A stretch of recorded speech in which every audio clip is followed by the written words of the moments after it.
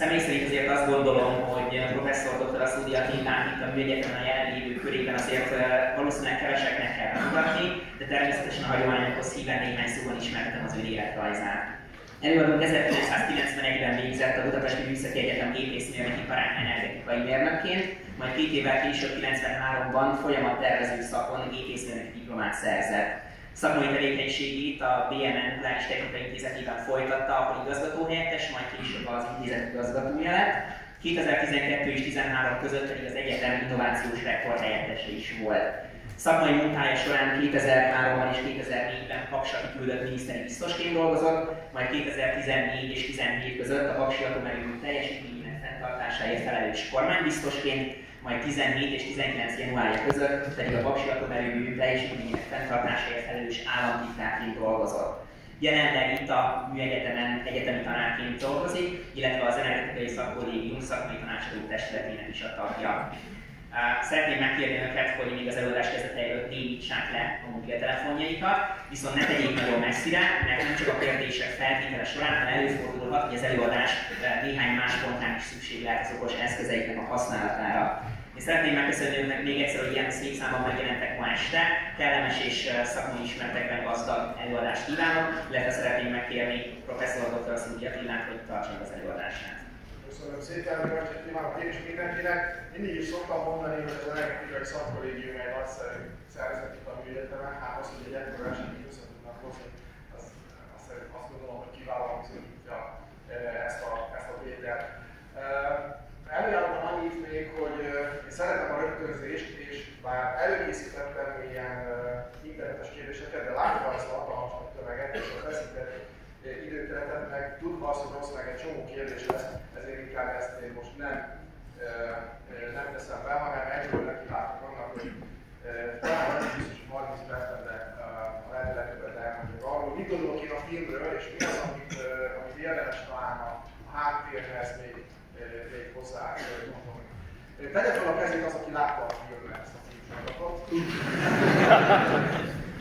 Na jó, inkább az ellenpróbát kellett volna megvenni, de egy gyakran. Önmagában a filmről alapadatokkal nincsen érdemes nem érdemes beszélni. Az első fontos információ, ami az én megítélésem szerint meghatározza az egész ma beszélgetést, hogy ez az öt részes sorozat nem egy dokumentumfilm. Nagyon-nagyon fontos megérteni, és ezt fogom majd bemutatni talán az előadásban. Szó nincs arra, hogy dokumentumfilmet látnánk, ez egy úgynevezett dokumentum dráma, dramatizált formában mutat be megtörtént eseményeket olyan elemek felhasználásával, amelyek adott esetben egyáltalán nem történtek meg. És azért tesz a, a, az író a történetben ilyen, történetben ilyen csavarokat, hogy a, a fő mondani valóját azt még inkább ki tudja domborítani. Én azt gondolom, hogy egyébként Craig Mazin, aki ennek a, a forgatókönyvét írta és az egész filmsorozatot jegyzi, nagyon jól fogta meg ezt a, ezt a problémakört, új aspektusokat hoz be, az, hogy önök itt vannak, az, hogy ilyen sokat beszélünk erről a filmről, az mutatja, hogy, hogy abszolút jól áll ez a kérdéshez, új elemeket hozott be, és el kell ismerni szakemberként, rengeteg anyagot dolgozott fel. Ő azt mondja egyébként, hogy két és fél évig kutatta a hátterét ennek az eseménysornak. Becsületére rájött, hogy nem mérnök ember, és mégis szerintem nagyon sok elemében ugyan tudott kutatni, nem csak kommunikáció szempontból, hanem, hanem az, azt, ahogy, ahogy bemutatja ezt a, ezt a nagyon bonyolult eseménysor, a társadalmi, politikai, műszaki környezettel együtt szerintem nagyon jól, nagyon jól prezentálta. Meglepő, hogy 33 év után ekkora érdeklődés van ezután ezzel a téma iránt. Én azt gondolom, hogy azért ez is egy összetett kérdés, hogy miért van ez így. Valószínűleg az is szerepet játszik ebben, hogy, hogy az HBO, aki, aki végül is forgalmazta, vagy levetítette ezt a sorozatot, nem sokkal előtte fejezett be egy nagyon hosszú, nagyon sikeres másik sorozatot, és talán a, a sorozatnézésnek a, a vágya is tüzelte ezt a, ezt, ezt, a, ezt a kérdést, de, de szerintem az is szerepet játszik ebben, hogy, hogy ma médiafogyasztóvá vált, már a médiafogyasztóvá vált egy olyan társadalmi réteg, akik valójában nem értenek személyes élményként Csernobyl, érdekesség van benne, hogy, hogy ez, ez, ez mindenképpen meghatározza ezt, a, ezt az eseménysort. Én azt gondolom, hogy a filmnek a főüzenete, főüzenete nem műszaki természettudományos, hanem, hanem társadalomtudományi jellegű. Az emberi természetben rejlő visszásságokat, adott esetben eltorzulásoknak a lehetőségeit mutatja be. Ilyenre ad nagyon-nagyon komoly példát. Arra hívja fel a figyelmet, hogy az emberi viselkedés anomáliái milyen nagyon súlyos következményhez vezethetnek. A, tulajdonképpen egy csomó úgymond poént lelőszöntem a film a leges legelején, hiszen néhány perccel a film kezdete után meghal a főszereplő, elmondja ezt a nagyon fontos monológot, ami, ami arról szól, hogy a hazugságok hosszú távon elképesztően nagy ára járnak, elképesztően nagy árat kell fizetni azért, hogyha egy rendszer hazugságokra épül, mert hogy bizony a műszaki kérdések azok, azok nagyon sokszor nem követik a vágyékat, vagy azokat a hazugságokat, amelyeket ebben a, ebben a rendszerben különböző szereplők bemutatnak, és egy nyilván a Szovjetunióról, a szovjet rendszerről is nagyon sokat üzen ez a, ez a film, de még egyszer mondom, szerintem sokkal több van ebben, a, ebben az ábrázolásban, mint a Szovjetuniónak a, a, a karikatúrája. Az előadásomnak a grafikai hátteréül egy analógiát választottam, talán emlékeznek magára a reaktorcsarnokra és arra a, a jelenetre, ahogy a, a robbanás előtt a nagy mennyiségű felszabaduló gőz hatására ezek a több száz kilós acéltömbök, amelyek a reaktor zóna között találhatóak, ezek elkezdenek mozogni. Hát én ebben a mai előadásban szeretnék néhány ilyen néhány ilyen blokkot, néhány ilyen többet kiemelni, és megmutatni azt, hogy, hogy szerintem ezek az ügyek, amik ott lapulnak egy-egy ilyen, egy-egy ilyen, atom, egy-egy ilyen acéltöbb alatt, ezek hogyan is viszonyulnak a, a, a valósághoz. Sok szempontból fogom majd ezt megpróbálni. Az első téma, amiről szeretnék beszélni, a macska, illetve nem is a macska, hanem a, a macska kaja. Ez ugye, nem tudom mennyire látszik oda a fentről, sajnos a vetítés nem tökéletes, de a, talán emlékeznek, hogy a legelső résznek a legelején látjuk, ahogy, ahogy Legaszov macska ételt készít ki a, a macskának. Hát az, ez az egyik olyan történelmi torzítás, ami, ami szerintem felhívja arra a figyelmet, hogy hát azért annak idején nem biztos, hogy minden ugyanígy történt. Ezekben a kis tálakban abszolút precízen előkészített gyári macskaétel van, ami abban az időben a Szovjetunióban egészen biztosan. Olyannyira emlékezik, hogy én emlékszem rá, hogy 88-ban találkoztam egy, egy, egy fiatal hölgyel, aki orosz tanított nekünk annak idején, aki egyébként orosz születésű volt, és egy, egy magyar mérnök importálta Magyarországra feleségként. És, és ő mesélte, hogy 86-87 környékén, tehát nem sokkal a, a Csernobili balesettől eltérő időben, az édesanyja Magyarországon meglátogatta Pakson, bementek egy, egy élelmiszer üzletbe, és amíg ő ellépett a kenyérpulthoz, addig a mama valahol elkóborolt, és amikor újra összetalálkoztak a sor végén, akkor a, az édesanyjának a kosara tele volt vajjal. De színűtig. És kérdezte tőle, hogy, hogy na de hát, anya, hát de miért? Hát van végre vaj. Hát de itt mindig van, az ki van zárva, mondta a mama. Szóval a, Szovjetunióban abban az időben annyira hiánygazdaság volt, annyira nagy hiány volt egy csomó alapvető dolgból, hogy, hogy ez, ez a történet az abszolút így, így, így volt.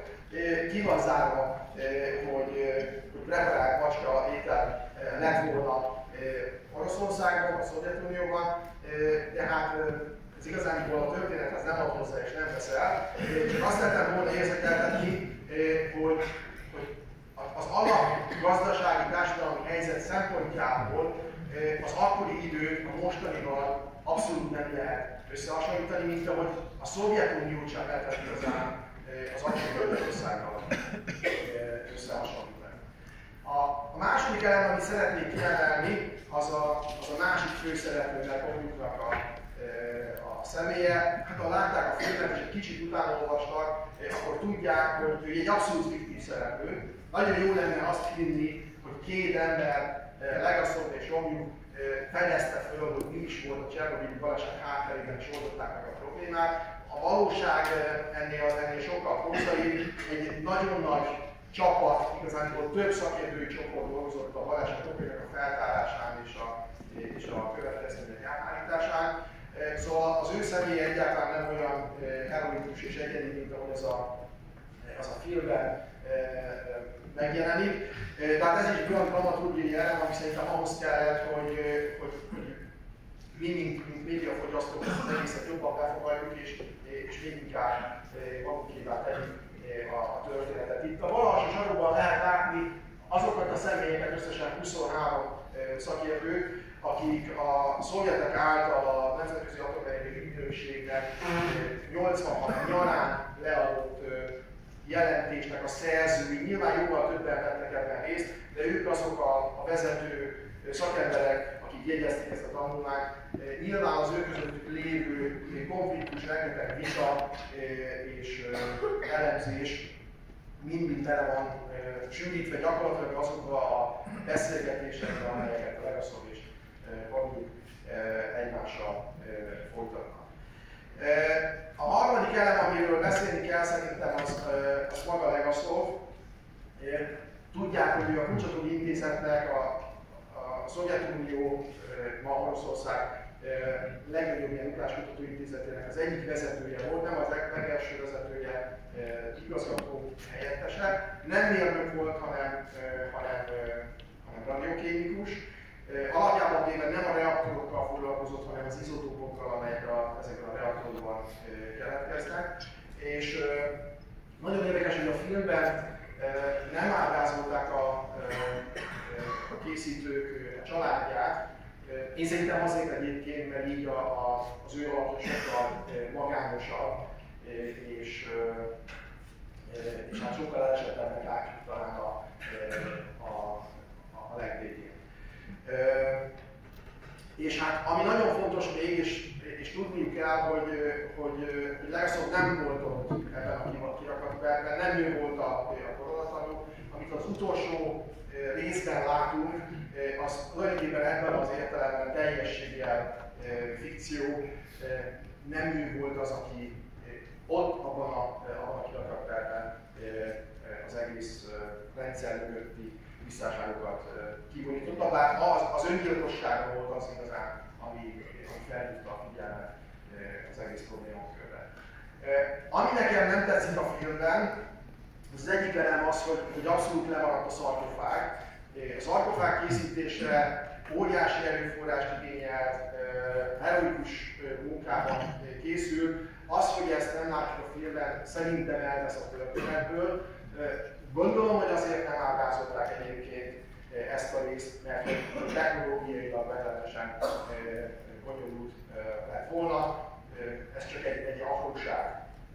A másik dolog, ami, ami nekem nagyon nem tetszik, de erről írtam a, a blogomon is, hogy az a jelenet, amikor a, a szegény madár elpusztul és leesik a, a, a betonra, szerintem rettentően túlzó, azt sugalja a, a laikus nézőnek, hogy, hogy ilyen ütemben hullottak az élőlények a, a baleset környékén.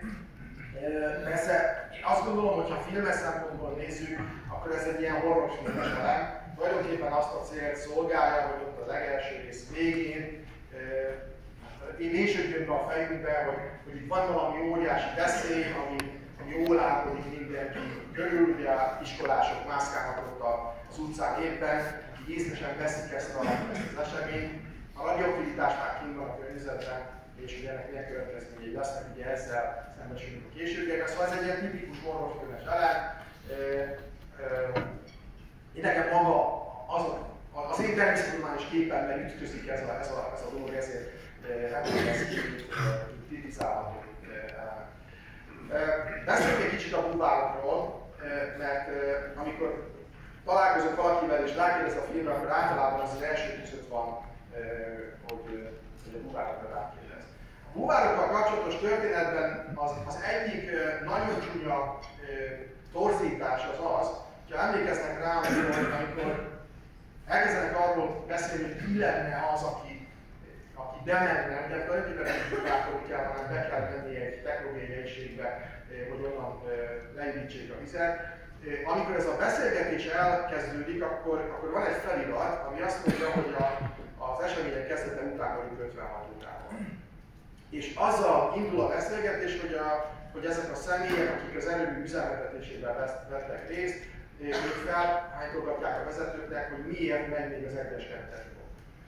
Na most ez egészen biztosan nem így lehetett, biztosan nem így volt, mert, mert a többi blokkal a következő történt, ugye 26-án hajnalban történt a, a 4-es bokki baleset, míg aznap hajnalban három és fél órával később leállították a hármas blokkot, ugye a hármas blokkot is súlyos történtek, tehát igazán muszáj volt a hármas blokkot leállítani, és, és másnap hajnalban, tehát tulajdonképpen 24-28 órán belül az egyes kettes blokkot is leállították.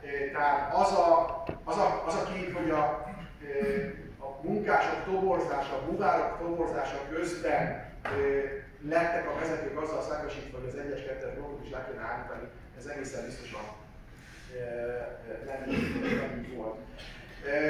Ezek az emberek nagyon fontos munkát végeztek, de én szerintem ez megint egy olyan jelenet sor, ami rettentően túl van dramatizálva, túl nagy jelentőség van neki adva. Valójában azért, mert ez is egy ilyen, egy ilyen horrorfilmes dolog, szerintem, hogy be kell menni egy ismeretlen helyre, ott valami ismeretlen veszély van utána, ráadásul ugye el is úgy van ábrázolva, hogy nem működik a lámpájuk, persze én úgy tudom, hogy ilyen kurvis lámpával mentegetett, és a feladatot eh, meg tudták oldani. Eh, ez, ez, a, ez az egyik része a torzításoknak, de, de van egy másik dolog, ami, ami tulajdonképpen a, a sugárzáshoz kapcsolódó félelemre épít, azt erősíti, eh, és ugye mindenki csodálkozik azon, hogy a bubárok hogyan érték ezt a. Na most ezzel kapcsolatban én eszembe jutott, amikor láttam ezt a jelenetet, hogy néhány évvel ezelőtt jelent meg egy könyv, aminek az a címe, hogy mi lenne ha, amiben mindenféle ilyen tudományosan egészen elrugaszkodó ötletek vannak megvizsgálva, hogy mi lenne, ha, ha, tényleg megpróbálnánk, nem tudom, fénysebességgel utazni. És ebben van egy rész, ami azzal foglalkozik, hogy mi lenne, ha valaki egy atomerőmű kiégett üzemanyag tároló medencében, a pihentető medencében úszna. Ez egy elég pervers ötlet, őszintén szólva, nekem biztosan nem jutott volna még egyik eszembe, de minden esetre nem mutatja a könyv, hogy, hogy hát valójában, hogyha valaki a például medencében nem úszna le az üzemanyag kazetták közelébe, akkor igazán most semmi baja nem lenne. Sőt, hát a könyvemnél többet mondanak, hogy valaki a tetején úszkálna, akkor, akkor szerinte kisebb is érni, mint a lenne a, a, környezetben, mert hogy hát a beton épület az leállítja a közötti sugárzás, és egyébként pedig a víz annyira jó sugár gyengítő anyag, hogy, hogy nem, nem lenne számottevő dózis. Azért megmondom őszintén, sokat, sokat örökben jártam, sokszor mértem dózisteljesítményt, azért a mértető medencén ugye mindig van egy kis szennyeződés, úgyhogy, úgyhogy azért a dózis teljesítmény ott nem pont a körzeti, de nem olyan nagyon nagy, ebben, ebben egyet tudjuk érteni. Most visszatérve a, a, a filmre, azért azt kell látni, hogy, hogy ha valaki nagy, nagy aktivitású sugárforrás környékén mászkál, akkor rengeteg paramétertől, nem is rengeteg, de meglehetősen sok paramétertől függ az, valójában mekkora dózisnak lesz kitéve. Az egyik meghatározó tényező az, hogy valójában mekkora az aktivitása annak a sugárforrásnak, amiről beszélünk, milyen távol vagyunk tőle, milyen közeg van közöttünk és a sugárforrás között, tehát van-e valamilyen gyengítő, a sugárzás elnyelő, hanem milyen fajta sugárzást bocsát ki ez a, ez a sugárforrás, és hát hogy mennyi időt töltünk el. Kétségtelenül ezek a személyek, akik még egyszer mondom, nem buvárok voltak, olyan helyre mentek, hogy gyakorlatilag a reaktor technológiai részében a reaktor alá, ahol távolság tekintetében tényleg közel voltak a sérült üzemanyaghoz, de hát azt, hogy, hogy ezt a dolgot túlélték, azt mutatja, hogy igazán nagyon nagy bónus teljesítménynek nem voltak kitéve. Nekünk természettudományos szempontból mondom, hogy ez a dolog egy kicsit túl van tolva a filmben, de horrorfilmes szempontból teljesen értem. Az események sugárnézeti szempont, értékelési szempontjából ez a, ez a rész, ez, ez tulajdonképpen irreleváns, de jó lehet rajta diszkulni. A következő dolog, amit kritizálnom kell, az a kitelepítésnek az időzítése, és ez, ez, ez egy érdemi kérdés. Ugye a, a film azt mutatja be számunkra, hogy ugye először is a, a helyi balesetelállítási szervezet egy vita után úgy dönt, hogy, hogy nem hogy kitelepítenék Pripyatot, hanem, hanem lezárják és elvágják a telefonvonalat, ami abszolút elfogadhatatlan bármilyen környezetben, bármilyen diktatúrában, akárhol. Ez egészen egyértelmű. De utána ugye úgy folytatódik ez a szál, hogy, hogy a kitelepítés mellett akkor döntenek végül is, amikor, amikor szembesülnek azzal a médiában, hogy Németországban már nem lehet kimenni a utcára, és a gyerekeket nem engedik ki a házakból, és hát hogy milyen abszurd az, hogy 2000 kilométerre védik a lakosságot, és 3 kilométerre vagy 10 kilométerre a reaktoroktól pedig nem. Ez egy megint egy nagyon-nagyon hatásos dramaturgiai elem, de a valóságban nem így, nem így történt. Ugye 26-án hajnalban történt a baleset, és 26-án kora délután, bocsánat, 27-én, tehát egy nappal és néhány órával később, tehát mondjuk azt, hogy 30 órával később döntöttek Pripyatnak a, a kitelepítéséről, miközben a nyugati világ, tulajdonképpen a Szovjetunió kívüli világ és a laikusok a Szovjetunióban 28-án reggel értesülhettek arról, hogy valami, valami baj van, hiszen 28-án reggel történt meg az, hogy a Forsmák atomerőműben Svédországban szennyezést tapasztaltak az erőműben belépő emberekkel, és aztán onnan kezdték el visszafejteni, hogy, hogy nincs történet. Tehát tényszerűen Pripyat kitelepítése hamarabb történt meg, mint hogy nyugaton érzékelték volna azt, hogy, hogy valahonnan nagy mennyiségű radioaktív anyag került a környezetbe.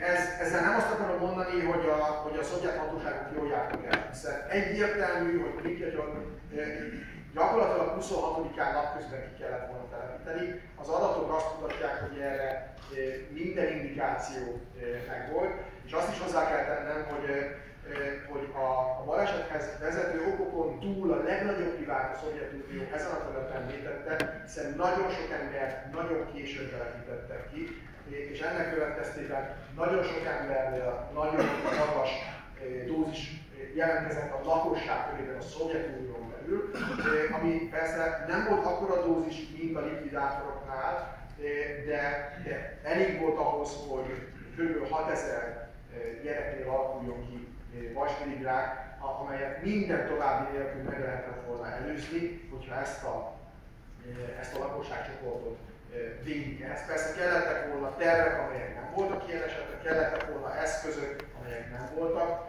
bekészítve, de minden esetre a film, itt a filmről beszélgetünk, a film szempontjából a kitelepítéssel kapcsolatos döntés szempontjából ezt tudni érdemes. Ezt a, két, ezt a példát nagyon sokszor mutattuk már különböző helyeken, és ha valaki olvassa az irodalmat a Csernobyl balesetek kapcsolatban, az, az ismerheti jól ezt a, ezt a térképet. Ugye itt lehet látni, hogy merre is hullott ki a legtöbb szennyeződés a, a balesetből. Az egyik érdekessége ennek a térképnek az, hogy Csernobyl város vagy falu igazándiból a kevésbé szennyezett területekhez tartozik, annak ellenére, hogy nagyon közel van.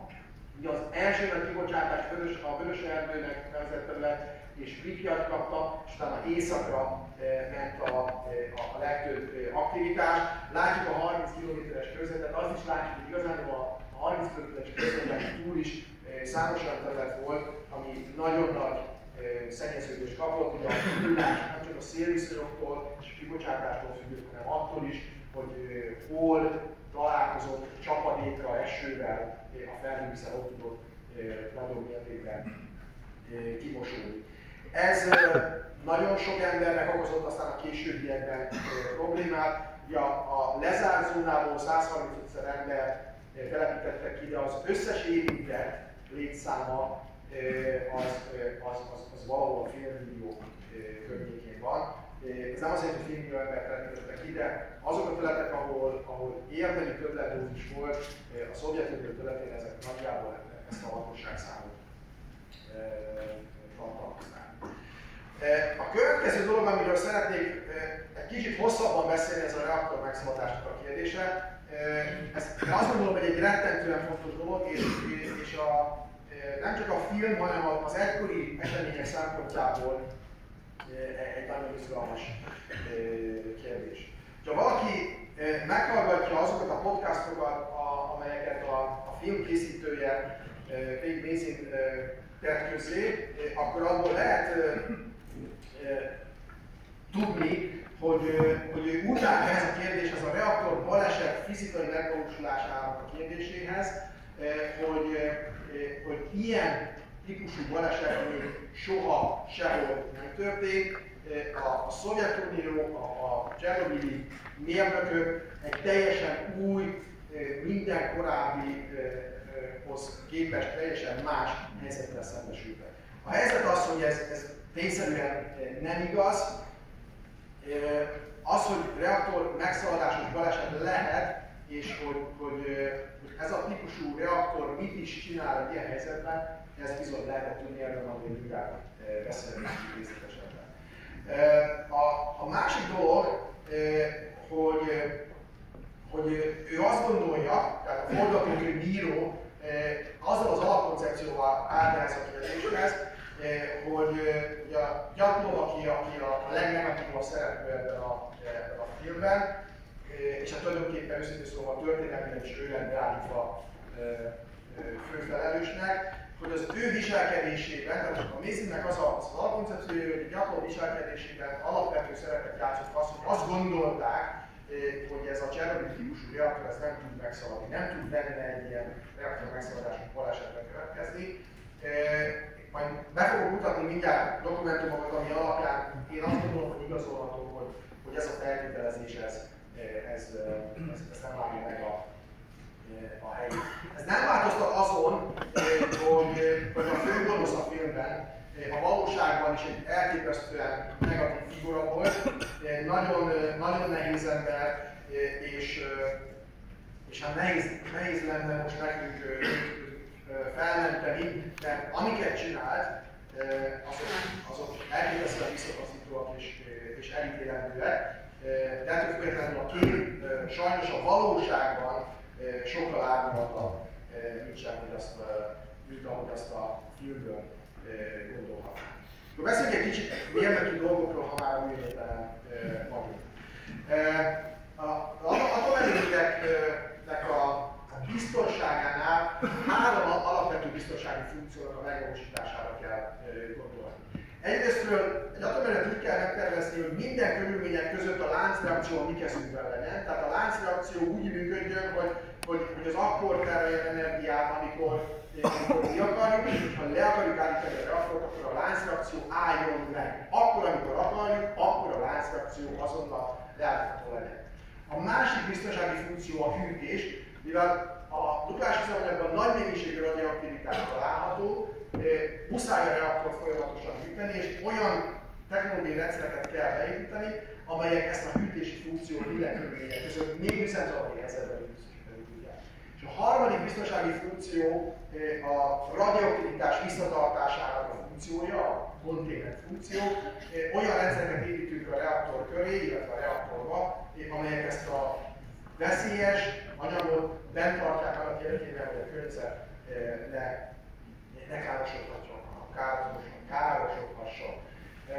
Ha, ha ezeket a biztonsági funkciókat megértettük, akkor azt is könnyű megérteni, hogy alapjában véve a reaktor baleset komoly reaktorbaleset két irányból lehetséges.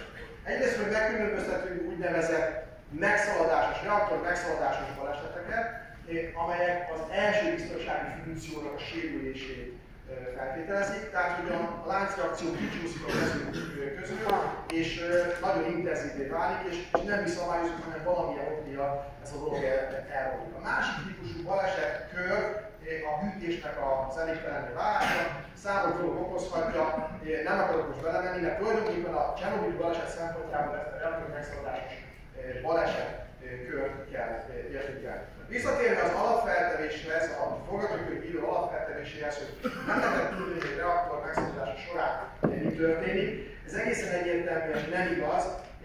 Az Egyesült Államokban az 50-es években végeztek olyan kísérleteket, amelyek azt a, azt a célt szolgálták, annak a, az ellenzését szolgálták, hogy mi történik akkor, hogyha egy reaktorban olyan mennyiségű reaktivitást viszünk be, olyan intenzívé veszünk benne a láncreakciónak a, a felfutási sebességét, hogy, hogy az adott esetben az üzemanyagnak a, a sérüléséhez vezet. És ezek a kísérletek, amik egyébként a, a sivatagban zajlottak, lehet látni, hogy, hogy olyan mértékűek is voltak, ahol abszolút egyértelműen megfigyelhető, hogy, hogy milyen hatalmas hőfejlődés és, és gőzfejlődés történik egy ilyen reaktor megszóldás során. Ezek a kísérletek, ezek az úgynevezett SPER kísérletek, a ezekhez kapcsolódó további kísérletek szolgálták azt a célt, hogy azok, az a számítási apparátus,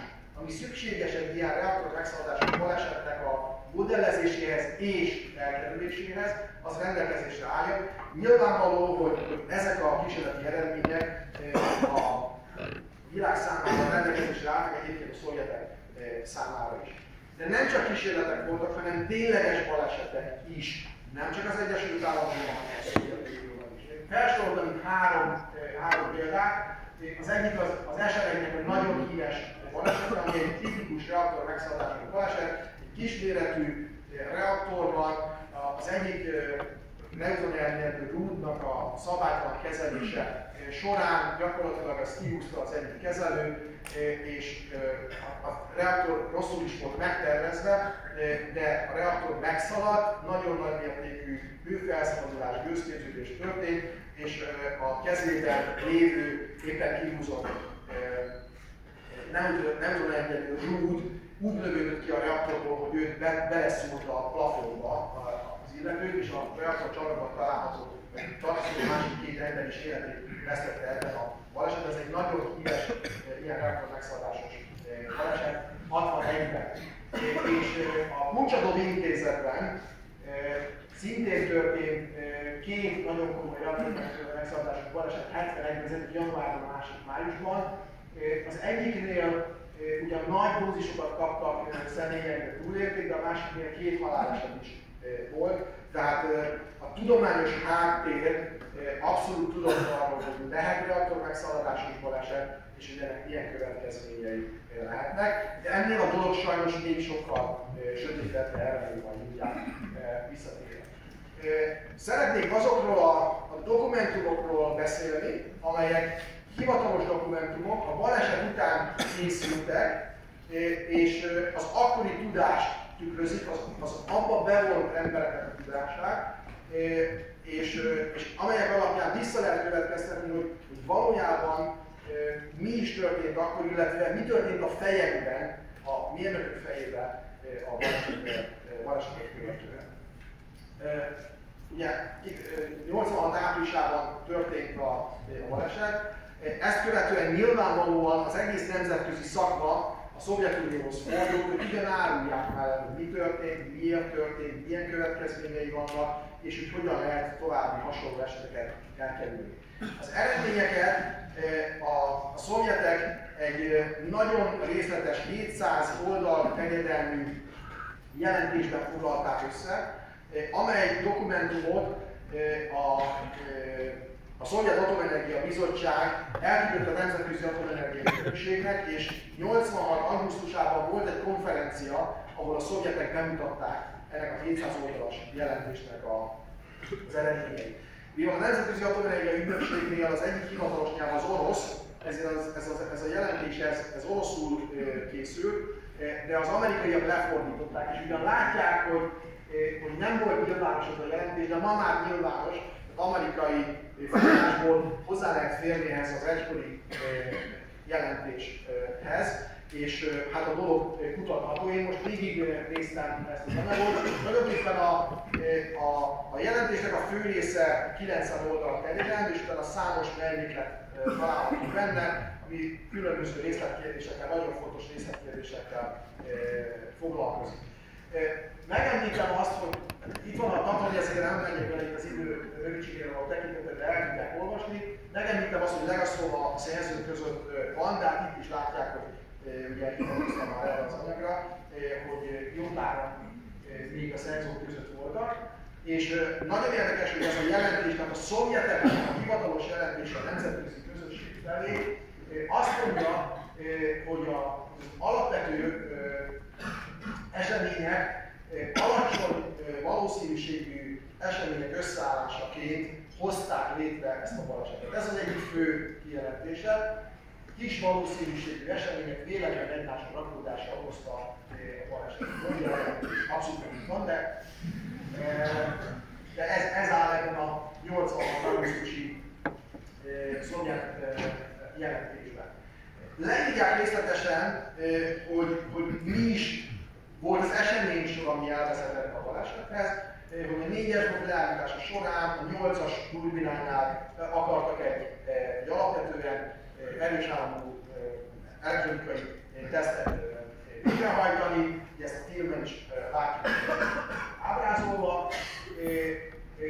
Azt is leírják, hogy korábban is voltak már ilyen tesztek, leírják azt, hogy nem megfelelően volt a, a, ez a kísérlet előkészítve, valami nem volt jóvá hagyva, ez egy fontos beismerés, és azt is mondják, hogy a kísérleti program előrejelezte, hogy bizonyos rendszereket ki fognak kapcsolni, de ezeknek a rendszereknek a kikapcsolt állapota rövidebb ideig volt feltételezve. Ugye ez azért lényeges, mert biztonsági rendszereket iktatnak ki az operátor, de utána amiatt ugye látjuk hogy hogy a blokk, vagy a, a rendszerirányító nem engedte a blokknak a leállítását, ezért aztán hosszú időn keresztül, 12 órán keresztül a blokkjában az állapotban maradt.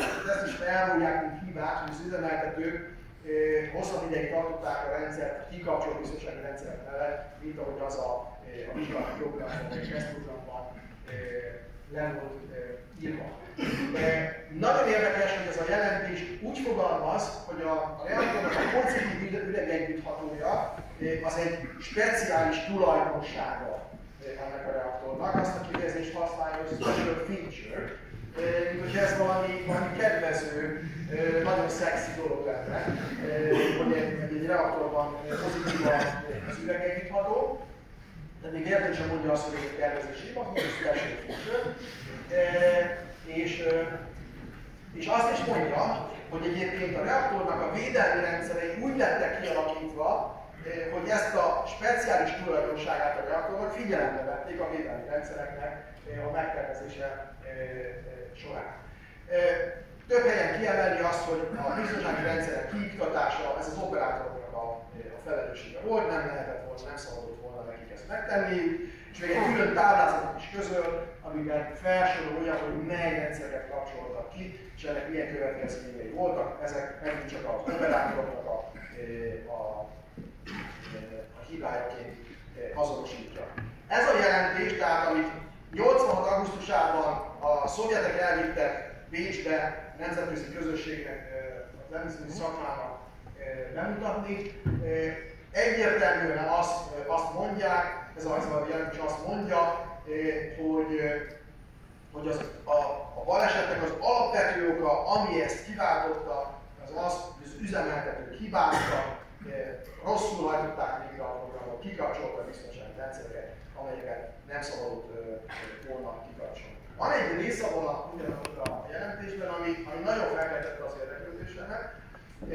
Azt mondja egy hát nem túl exponált helyen, hogy, hogy a későbbiekre való tekintettel a többi ilyen reaktornál ezeket a neutron elnyelő rudakat amelynek a szerepét nem igazán, vagy, vagy a tervezési hibájára vonatkozó utalás nem igazán ismertette be az anyagban, úgy megjegyzi, hogy ezeket a neutron abszolvens utakat, ezeket a másik reaktoroknál lejjebb helyezik, csak azért, hogy azok még jobban tudjanak működni a további. Ennek, ennek nagyon nagy jelentősége lesz ennek a momentumnak még a további. Azt egyértelműen kimondja, hogy a Szovjetunióban lévő nukleáris szabályok azok teljes összhangban vannak a nemzetközi gyakorlattal, de a, a jó szabályoknak a megvalósítását nagyobb figyelemmel kell kísérni, nagyobb monitoringot kell ezeknek a rendkívül jó szabályoknak a, a betartásához között. Ez tehát a szovjeteknek a jelentése a, a nemzetközi közösség felé. Hozzáteszem még egyszer, hogy Legaszov ezt a jelentést szintén jegyzi, és hát azt kell, hogy mondjam, hogy, hogy jutólag, de ezt, ezt már a 86-ban aktív kollégák is abszolút tudták, akkor 86-ban, hogy hát ezek a dolgok nem feltétlenül vannak így. Miért? Hát nem tudunk most itt az időrövidségre való tekintetben lenni, nagyon megkerülő részletekben, hogyha valaki csatlakozik valamelyik előadáshoz, nagyon szívesen óra alapján előadásoknak nagyon szívesen elmondom. Szóval ugye azok a reaktorok, amelyeket ma széleskörűen használunk Európában, azok úgynevezett vízhűtésű, vízmoderálású reaktorok. A reaktorban a neutronoknak a lelassítását és a, az üzemanyagból a hőnek az elvitelét ugyanaz a H2, ugyanaz a könnyű víz valósítja meg. Ezzel szemben az RBMK a Csernobyl reaktor egy grafikmoderálású, vízhűtésű reaktor, ami azt jelenti, hogy a reaktornak a zónája nem egy nagy nyomásra méretezett tartályban található, ahol az üzemanyagkazettákat víz veszi körül, hanem a reaktor zónájában hűtőcsatornák vannak acélcsövekben, ezekben az acélcsövekben találhatóak az üzemanyagkazetták, az üzemanyagkazettákat könnyű víz hűti, amely részben elgőzölög is, és utána kazándobokban szétválasztásra kerül, és a gőz elmegy a turbinára, és ott elvégzi a maga feladatát. Ugyanakkor a neutronoknak a lelassítását a grafit, egy hatalmas nagy grafit tömb, kockákból összerakott grafit tömb végzi el. Ebben a reaktorban szét van választva a neutronok lelassítása, a moderálási funkció, a hűtési funkciótól. Ráadásul amiatt, mert a, a grafitnak, illetve a grafit modellálás reaktoroknak ez egy, ez egy tulajdonsága, ez a reaktor hatalmas nagy méretű, egy 12 méter átmérő, 7 méter magas aktív zónát tessék elképzelni. Egy, egy 8 vizes reaktor, amiről az előbb beszéltem, egy ilyen 8 vizes reaktornak a jellemző mérete mondjuk 3 méter, tehát az átmérője durván az aktív zónának 3 méter, és a magassága is durván 3 méter. Ehhez képest az RGM reaktorban egy 12 méter átmérő, 7 méter magas reaktor tessék elképzelni, ami több szempontból nagyon problémás, nagyon nehéz a szabályozása, tulajdonképpen magát a, szabályozó rendszerét úgy alakították ki ennek a reaktornak, hogy mivel önálló szigetek tudnak benne kialakulni, 12 darab ilyen uh, szegmens szabályozó rendszerek volt. Tehát nem, nem csak a, a reaktornak az összteljesítményét lehetett szabályozni, hanem volt 12 különálló kis szabályozó rendszer, ami, hogyha esetleg külön válnának ezek a egymás mellé pakolt, reaktorfizikailag egymás mellé pakolt aktív zónák, akkor ezeknek a zónáknak a, a viselkedését külön is lehetett szabályozni. Ráadásul a zónának a magassága is nagyon nagy volt, tehát amíg egy egy 8 vizes reaktorban 3-3,5 méter maximum az aktív zónának a magassága, itt két darab aktív zóna van gyakorlatilag egymás fölött, két darab kazettát, két darab 3,5 méter hosszú kazettát helyeztek egymás fölé. Tehát egy óriási méretű, nagyon nehezen szabályozható reaktorról van szó, aminek van egy óriási nagy problémája, és igazán ez egyik kulcseleme ennek a balesetnek, hogy az ilyen grafikmoderálású vízütésű reaktorokban amiatt mert grafit és víz egyszerre van jelen, és a, a könnyű víz sokkal nagyobb gyakorisággal nyel el feleslegesen neutronokat, mint a grafit. Ebben a reaktorban úgynevezett pozitív üregegyütt hatódik ki. Ugye erről van szó az utolsó részben, úgyhogy én nem akarok ebben nagyon belemenni, de a lényeg az az, ez a pozitív üregegyüttható egy pozitív visszacsatolást ad ennek a reaktornak, aminek következtében ez a hatalmas nagy méretű, nehezen szabályozható monstrum időnként elszabadul, és hát ez komoly problémákat okoz. Miért, és hogy még milyen specialitások vannak, arra mindjárt visszatérek, hogy még egy kicsit szeretnék a dokumentumokról és ennek az egész felülés történetéről beszélni. A szovjetek tehát készítettek egy riportot 86 nyarán, amit kivittek Bécsbe 86 augusztusában. Ez alapján összeült egy nemzetközi szakértői csoport, ami összefoglalta a nemzetközi konferenciának, ennek az augusztusi konferenciának, valamint a szovjet jelentésnek a fő eredményeit, és a, egy, egy dokumentum, egy Inzam egy nevezetű dokumentumnak a formájában, akkor még 89 végén most a 86 végén kiadták ezt a, ezt a jelentést, amiben összefoglalta a nemzetközi közösség, hogy a szovjetek adatszolgáltatás alapján hogy is érti, mi történt, miért történt Csernobylban. Nagyon érdekes történelmi tény, hogy ezt a, az INSAG 1 jelentést később a Nemzetközi Atomenergia Ügynökség visszavonta, Rengeteg dokumentum érhető az interneten, ezt ha keresik, nem fogják megtalálni. Én úgy tudtam rá szert tenni, hogy egyrészt, hogy bementem a, a Bécsi könyvtárba, nem tudom, hogy az a könyvtárába, és ott egy elnyúlt helyen, nem a dokumentumok között egy elfekvő példát találtam, illetve találtam egy másik példát itt, itt nálunk az egyetemi könyvtárban, mert az elmúlt 30 évben senkit nem érdekelt, és, és nem, nem szerzett arra tudomást, hogy ezt a jelentést visszavonták. Nagyon érdekes, de hát visszavonták, hát azt mondta későbbiekben a nemzetközi közösség, hogy, hogy hát ezt meghaladta az idő, most már többet tudunk, és kiadott egy új jelentést, ez a 92-es, 87-es Szeretnék néhány dolgot bemutatni ebből a, a későbbiekben visszavont jelentésről. Itt van, tehát meg, meg tudom mutatni. Ez a dokumentum egyértelműen leírja, hogy az RDMK reaktoroknak a hatója pozitív, ami, ami adott esetben problémát okozhat.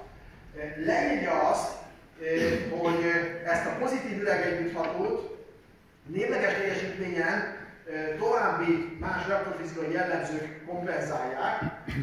Ez alatt azt kell érteni, hogy a reaktor stabil vagy instabil működését nem csak ez a, ez a gőztartalmat, a gőztartalom változását leíró, gőztartalom hatását leíró üregtényező határozza meg, hanem az üzemanyag hőmérsékletének a változása, a moderátor hőmérsékletének a változása, illetve a teljesítménynek a változása is befolyással bír a reaktornak erre a, a tulajdonságára. Szóval azt mondja ez a, ez a jelentés, ami a szovjetek alapján készült, hogy névleges állapotban összességében a reaktorral nincsen baj, mert az egyéb negatív visszacsatolások felülírják a pozitív üregtényezőből származó problémát. Ugyanakkor azt mondja, hogy 20% teljesítmény alatt a pozitív üregtényező dominál, és ennek következtében nincsen megengedve, hogy hosszabb távon 20% alatt működjön a reaktor, csak speciális átmeneti állapotban lehet az üzemeltetési utasítások szerint a reaktor ebben az állapotban tartani. Szerepel az anyagban, hogy 211 darab engedő szabályozó biztonságvételmi út van ebben a reaktorban, és szerepel az is, hogy 4 méter per másodperc maximális sebességgel lehet őket mozgatni, ennek a baleset befolyásában szintén fontos szerepet van. Ismerteti azt, hogy a, a reaktor teljesítménye az események során egyszer leesett egy alacsony szintre, a 200 megawattnál sokkal kisebb teljesítmény szintre. Ezzel a reaktor a megengedett üzemeltetési tartományon kívül került egy olyan helyre, ami, ami már nem volt biztonságos, és leírja azt is, hogy, hogy milyen intézkedéseket tettek, milyen dózisok születtek. A jelentés azt összefoglalóan azt, azt mondja, hogy A korszerű nyugati atomerőművekben sokkal fejlettebb az irányítórendszer, sokkal automatizáltabb a működés, ezáltal tehermentesítik az operátorokat, tehát tulajdonképpen kritizálja az RDNK-t azzal, hogy túl nagy terhelés volt az operátorokon az RDNK reaktor esetén. Megemlíti azt, hogy voltak kritikussági balesetek korábban, amelyekből lehetett volna tanulni. Ugyanakkor azt mondja ő is, hogy a hogy nagyon jelentős emberi hibák történtek, amelyek kombinálódtak a reaktor speciális tulajdonságaival, és ezek, a, ezek így együtt felelősítettek, és ez vezetett az üzemzavarhoz. A későbbiekben ugye világossá vált, hogy a szovjet jelentés nem volt megalapozott, nem tartalmazott, illetve csomó valódlanságot tartalmazott, aminek következtében tehát ezt a jelentést felülvizsgálták, és ez az INSAC 7-es jelentés, ami 92-ben lett kiadva, ez 10 okot azonosít, 10 okot azonosít, ami a balesethez műszakilag vezetett. Elsőként említi a pozitív üregvényezőt, ugye erről már én is sokat beszéltem, a filmben is látjuk. Az van mondva a felülvizsgált INSAC 7-es jelentésben, hogy az alapvető pozitív üregvényező. Azonban van egy új elem, és ez rendkívül fontos, és az egész esemény szempontjából meghatározó jelentőségű, hogy ez az inzaketes jelentés már azt mondja, eh, hogy a második legfontosabb volt, ami a balesetet okozta, a szabályozott biztonsági védelmi tudatnak kialakítása, a rossz kialakítása. Ez mit jelent, amit minden beszélünk? Eh, alacsony volt az a sebesség, amivel eh, ezek a utak az utállíthatóak voltak, nagyon tehetetlen, rossz volt a teljesítményszabályozás, rossz volt a műszerezés, túl nagy volt a reaktornak a mérete, különböző rendszereket kellett kapcsolni, és azáltal, hogy ugye beindították az összes szivatyút, a szintén szerepel filmben, ez egy aláított állapotban vitte a vizet, amiben gyakorlatilag sokkal nagyobb potenciál volt benne a megszabadásra, mint hogyha ezt nem tették volna meg. Kritizálja még a hűtőrendszernek a kialakítását, illetve azt gondolom, hogy nagyon fontos elem az, hogy valójában nincsen ennek a reaktornak. Az a, hogy mondtam a három biztonsági funkció, a harmadik biztonsági funkció, hogy a radioaktivitás legyen beszállítani, ez a biztonsági funkció ennél a reaktor valójában nem teljesít, nagyon nagyon korlátozott méretezési alapja ennek a konténernek. És akkor még egy utolsó pillanatra rátérve erre a kulcselemre, az INSZAK 2-es jelentés megállapítja, hogy a pozitív üregegyüttható mellett egy olyan probléma volt ezzel a reaktorral, hogy ugye a hatalmas, nagyon nagy magasságú zónában a neutronabszorber rudak, amelyek a reaktor leállítására szolgálnak, az első biztonsági funkciónak a megvalósítására, azért, hogy, hogy jobb legyen a neutronháztartása a reaktornak, a neutronabszorber rudak alatt volt egy grafit kiszorító elem, és ez a grafit kiszorító elem, ez nem volt olyan méretű, mint amilyen magasságú maga a reaktorzóna. És ez azt jelenti, hogy a grafit kiszorító elem alatt volt egy több mint egy méteres olyan tér, amiben normál állapotban, amikor a szabályozókban fel voltak húzva, ebben az 1,25 méter térben víz volt. És amikor a reaktor leállítása megkezdődött, ezek a neutronabszorber rudak elindultak be a zónába, akkor a grafit, ami kevésbé szereti elnyelni a neutronokat, mint a víz, kiszorította ezt a vizet, és gyakorlatilag abszurd módon reaktivitást vitt be a rendszerbe, a reaktor teljesítményét növelte azáltal, hogy, hogy vizet szorított ki a zóna aljáról. Ez egy olyan rendkívül súlyos tervezési hiba, amelynek nem szabadott volna benne maradni a rendszerben. Ezért van az, hogy a második oka a pozitív üregtényező mellett ez a, ez a nagyon súlyos tervezési hiba. És a dolgot még abszurdabbá teszi, és azt gondolom, hogy, hogy ez, ez a dolog, hát hogy mondjam, magát a filmet is még, még, még, még, hogy mondjam, még kiforgatottabbá teszi, hogy ezt a problémát 83-ban felismerték. Volt egy üzemzavar az egyik RBMK reaktoron, a, a most már Litvániához tartozó azóta leállított ignalina erőműben, 83-ban, amikor ez a tulajdonsága a, a, rudaknak, ez, ez bebizonyosodott, világossá vált, felismerték, hogy módosítani kellene, és nem hajtották végre. Ezt a, a dolgot, ha megcsinálják, Csernobili baleset nem következik be. Az, hogy ez így volt, ez egy rendkívül súlyos biztonsági kultúra hiányosság, egy rendszer nem processzál érdemben egy ilyen, egy ilyen nagyon komoly műszaki biztonsági kérdést, ez, ez egy nagyon nagy hiányosság.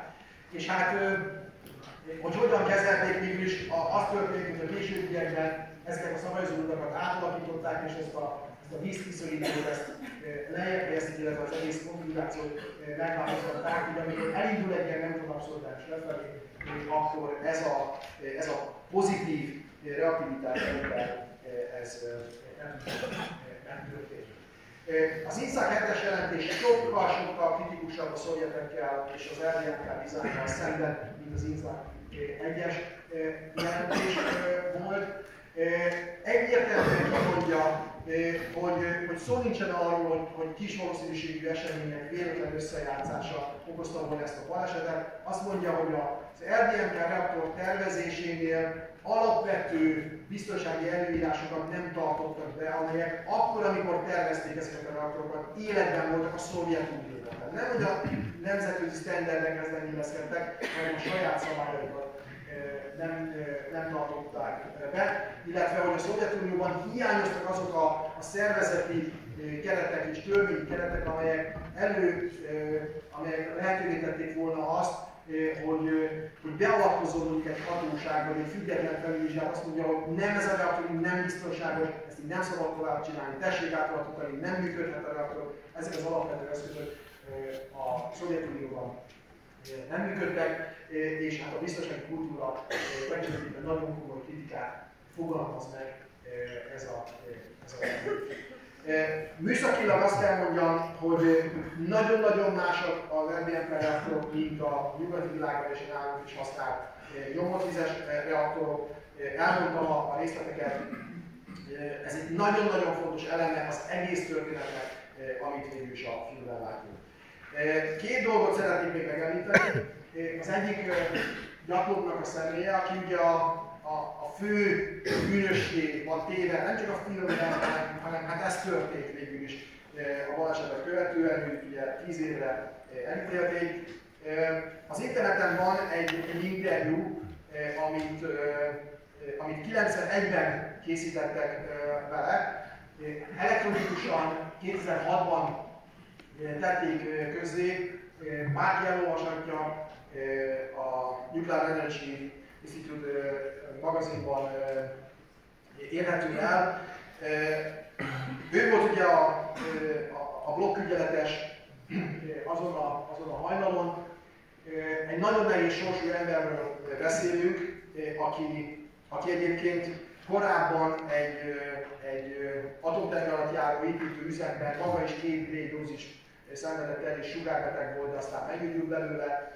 Bizonyos források arról beszélnek, hogy 10 éves korában, amikor a gyerekek 10 éves voltak, akkor leukémiában meghalt, és, és egyébként lehet volna tudni, hogy tényleg nagyon nehéz személyiség volt, 73-ban költözött Pripyatba és részt vett a Csernobili reaktorok építésében, üzemrehelyezésében és, és működtetésében. És ebben a riportban bizony azt mondja, hogy hogy a Szovjetunióban meglévő szabályokat sem tartották be a tervezés során, hogy az üzemeltetőket egy olyan vezényidőben, egy olyan műszerezési környezetben helyezték el, ahol nem lehetett jól elvégezni a munkájukat, a pozitív üregtényezők és a szabályozóknak a rossz kialakítását ő egyértelműen felrújja, és azt mondja, hogy a baleset konstrukciós hibából, tervezési hibából következett be, és az operátorok persze hibáztak, de e, nem e, ez az alapvető ok. Nehéz ezt mondani, de nagyon sok dologban igaza, igaza van. A helyzet az, hogy ővel elvitették a balét, de valójában nem ő volt a, a főfelelős. Bár borzasztóan viselkedett, borzasztó dolgokat csinált, rettentően negatív ember volt, nem lehet így egy blokkvezénylőben viselkedni, ahogy ő azon a hajnalon eljár, de, de ez nem változtatja meg azt a lényeget, hogy ezeknek a reaktoroknak a tervei el voltak és ö, utolsó ellenként ö, szeretnék még Legaszóra visszatérni, ha már, ha, ha már az első résznek a legelejében kezdtünk, akkor zárjuk ezt, a, ezt az előadást. A Legaszov hangfelvételei hozzáfértek az interneten, én meg, megtaláltam, hogy oroszul, de Google fordítóval le lehet fordítani, illetve, illetve találtam nemrégiben egy, egy weboldalt, ahol elkezdték feldolgozni, és még csak másfél kazettánál tartanak, de, de próbálják átírni angolra. Átfutva nagyon érdekes dolgokat mond, megemlíti azt, hogy, hogy a Szovjetunió, hát az egész keleti blokk egy rendkívül intenzív gazdasági fejlődésen ment keresztül a 70-es, 80-as években, amikor nagyon kellett az energia, és ez a, ez a nyomás az ipar részéről bizony meglátszódott a, a, az atomenergetikai iparnak a munkájának a, a minőségén. Azt mondja, hogy nagyon sokszor rosszul, slendián módon dolgoztak, hogy a, hogy a biztonsági kultúra hiányzott, és megemlíti például azt, hogy amikor külföldön járt, akkor nagyon le volt időzni attól, amit látott. Külön ugye Roizán, ami ugye a Paksaton erőműnek a, a erőműve, ami, ami nagyon nagyra értékelt, ezen a halála előtti hangfelvételen, és mondjuk mondja azt, hogy, hogy szovjet tervek alapján épült meg egy szovjet technológia, de például kanadai irányítástechnika van benne, hogy sokkal jobb a újszerezet, hogy szimulátort használnak, a, az üzemeltetőknek a, képzésére, hogy sokkal hatékonyabban tartják karban a blokokat, három hét alatt, nem pedig két hónap alatt végeznek el egy, egy ezeket mind, mind tartoznak. Összességében azt gondolom, hogy, hogy nagyon jó, hogy 33 év után ez a kérdés újra napirenden van, hogy a, ez a film felhívta a figyelmet arra, hogy milyen rendszer szintű hibákat lehet elkövetni egy bonyolult technológiai rendszernek a, az építésénél, tervezésénél, üzemeltetésénél. Tanulni kell ebből, és tulajdonképpen az a, a feladatunk, hogy az ilyen típusú rendszer szintű hibákat el kerülni.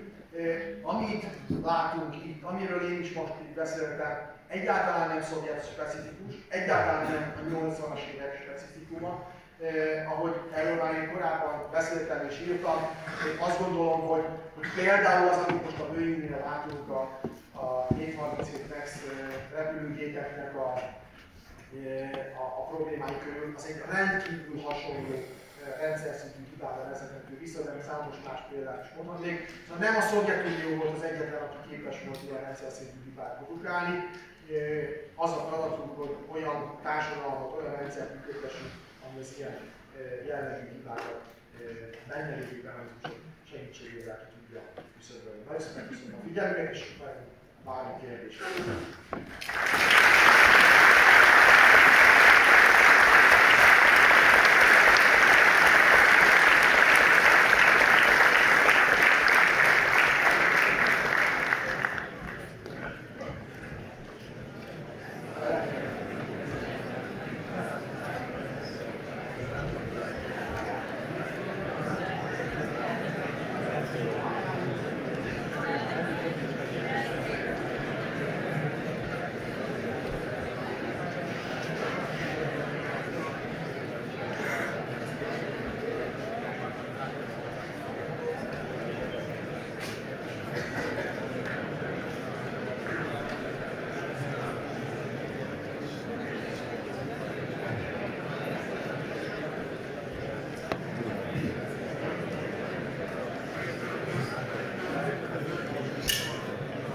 Köszönjük szépen professzor úrnak az azt gondolom, hogy rendkívül érdekes és kimerítő előadását. Ahogy ígértük, a következő szekcióban a szakkollégisták által feltett kérdéseket fogom majd tanárul is megosztani.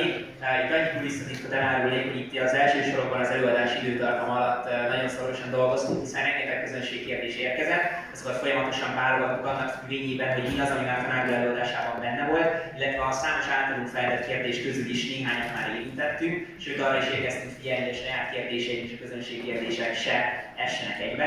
Úgyhogy én rögtön is kezdeném az első kérdéssel, és pont jó helyen is áll ja. Mi először, amikor a sorozatnak főleg az első részét néztük, rögtön az merült fel bennünk, talán is említette azt a bizonyos madaras jelenetet, ami valószínűleg egy túlzó jelenet, Viszont akkor, amikor például a tűzoltók kiérkeztek először a Csernobili erőműhöz, akkor látszódott, hogy lényegében a percek alatt nagyon erős bőrpír jelent meg többek között az arcukon, sőt a reaktor üzemeltetőin is sok helyen teljesen random módon vérzések kezdtek el megjelenni, és később a sorozatnak az egyik fő eleme, ahol például a kiérkező tűzoltóknak lényegében a leépülését bemutatja a kórházi jelentek során.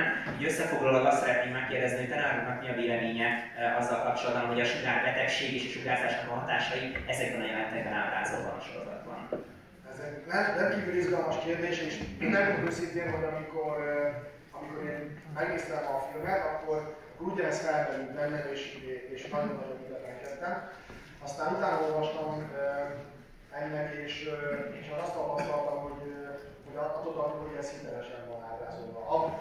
Ha bár a, a madarakról biztosan nem, győződésem, ez, igen. Ezek a személyek óriási nagy dózist kaptak, egész dózisokat, számosan 10 g fölötti egész dózist, ami, ami, ami abszolút halálos dózis fölötti dózis jelent. És ezt egyébként leírja az Inside jelentés is, hogy a, személyek között jó pár vannak olyanok, akiknek a nagy egésztelen dózisához hozzáadott egy rendkívül nagy bőr, szerkelés, béta sugárzásból származó bőrtermelés, ami, ami logikus, hiszen a reaktor nem hogy névleges teljesítménynél robbant fel, hanem a névleges teljesítmény százszorosával működött, amikor felrobbant, és, és nagyon sok rövid felezési idejű izotóp kikerült. Tehát azok, akiknek ott be kellett menni, benézni a tűzoltók, nagyon nagy egésztes dózisnak és bőr dózisnak voltak kitéve, gyakorlatilag meg, megégtek ennek a, a métasugárzásnak a következtében. A, a, a szovjet jelentés egyértelműen leírja, van egy, van egy nekem nagyon hiteles melléklete, ami az egészségügyi hatásokkal foglalkozik, egy hitelesnek tűnő melléklete, ami azt mondja, hogy a, a 8 g fölötti egészes dózis kapott személyeknek a legnagyobb része olyan nagy addicionális bőr bétadózis kapott, hogy, hogy a, az égési sérülések, amik a bétasugárzásból származtak, azok összeegyezhetetlenek voltak az élettel. Lassan haltak meg, ez egy szörnyű dolog, lassan haltak meg, de akkor, amikor a dózist megkapták, abban a pillanatban halálra volt ítélve. Köszönöm szépen. A második kérdésünk azzal kapcsolatos, hogy talán is említette, hogy a negyedik blokkban megkövetkezett baleset után a ugye Csernobili atomerőmű területén négy blokk üzemelt, és a katasztrófa az a negyedik blokkban következett be, és ugye a többi blokkot is valószínűleg a, még a robbanás pillanatában, hogy azért leállították. Tudomásom szerint ugye inkább felhúzták a szarkofágot a negyedik blokk köré, a többi blokk még olyan szinten üzemelt, hogy legalábbis emberek még dolgoznak benne. A hármas blokk, ami mindig ez a 2000-es évekig üzemelt, tehát áramot is termelt, illetve az egyes blokkban is még a leállás után dolgoznak emberek. Itt arra gondolok, hogy valószínűleg érdemes egy kicsit tisztába tenni azt, hogy hogyha ilyen nagy fokú a sugárzás, és még Csernobyl környékén is valamilyen formában a kivítési zóna az, az érvényben van, akkor mégis hogyan lehetséges, hogy a mellette lévő blokkokban még akár mai napig is dolgoznak emberek, vagy legalábbis a baleset után még éveken keresztül dolgoztak? Igen, hát az a helyzet, hogy tényleg évekig dolgoztak. Van egy táblázat, de talán nem, nem, annyira, nem annyira fontos, tehát évekig mentek még a reaktor. Ugye a hármas reaktor jobban sérült, vagy nem a reaktor maga, hanem a, hanem a blokk, mert ezek ilyen IKEA blokkok, tehát a turbinacsarnokok közös, meg számos rendszerük közös. Tehát a hármas blokk egy jó darabig nem volt üzemképes, aztán utána üzembe helyezték, és sok évig működtek. Az üzemeltetés szempontjából itt azt kell látni, hogy, hogy elképesztő takarítási munkát hajtottak utána végre ebben az erőműben. Nagyon sok földet mozgattak meg, dekontamináltak rengeteg mindent, és gyakorlatilag olyan dózis viszonyokat hoztak létre, hogy bár a dózis teljesítmények magasabbak voltak, mint egy, mint egy, mint egy normális erőműben, de mégis kiszolgálható maradt az erőmű.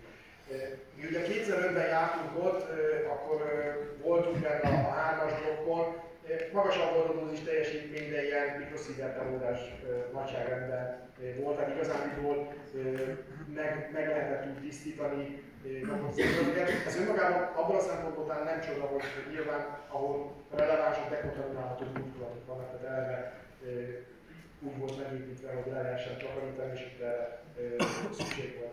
Nyilván nagyon abszurd az, hogy, hogy nem azonnal álltak le ezek a blokkok, ugye ezt megbeszéltük, a dekontaminálás miatt aztán kiszolgálhatóak maradtak. És most mind a mai napig oda járnak be, ugye nem fejezték be az új szarkofágok az építését, kezelési feladatok vannak, leszerelési feladatok vannak, de én tudom, hogy nagyjából ilyen 2000 ember járnak, rendszeresen Köszönöm szépen. A következő kérdésünk az eh, tanár úrnak az előadásra fejező gondolataihoz eh, kapcsolódik. Ugye itt a legvégső üzenetként vagy gondolatként a biztonsági kultúrá eh, kerül szóba, illetve az, hogy, hogy ez a baleset, legalábbis a mérnöki tervezésnek a hibája az valószínűleg nem is csak és kizárólag a Szovjetunióhoz, vagy a 80-as évekhez kötődik.